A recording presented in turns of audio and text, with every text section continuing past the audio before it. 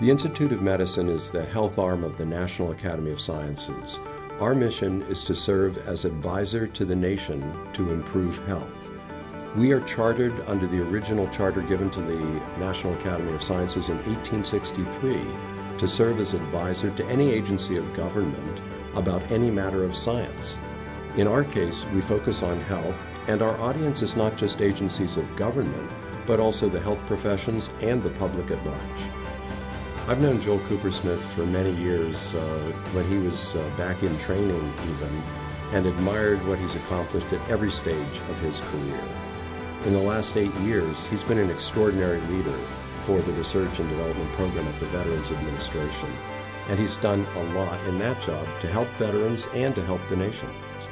The mission of the research and development program at the VA is not simply to do research as in any academic medical center, but rather to focus that research specifically on the needs of our veterans, and also in so doing, interestingly, to help the entire nation.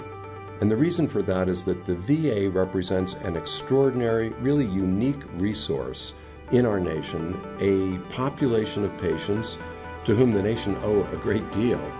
But more than that, a population of patients who represent a cross section of America and who, from whom we can learn a great deal about health needs, about health care, about risk factors for disease, about rehabilitation, about the total care of patient in every dimension from physical to emotional, and also to understand how we can deliver that care more effectively and efficiently to meet the needs of individuals and their families.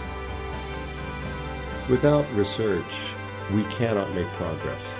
And in fact, what we're able to do today is just totally dependent on the research that went earlier, that our forebears undertook to learn more from a scientific standpoint of what really works, how it works, why it works, and how we can apply it to the care and to the cure of patients.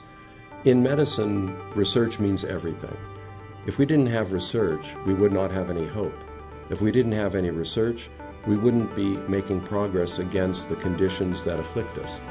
And in the VA, the research program has been instrumental both to help veterans and as a way of learning what works for everyone. And for those two reasons, the research program has really been a pace setter for the nation.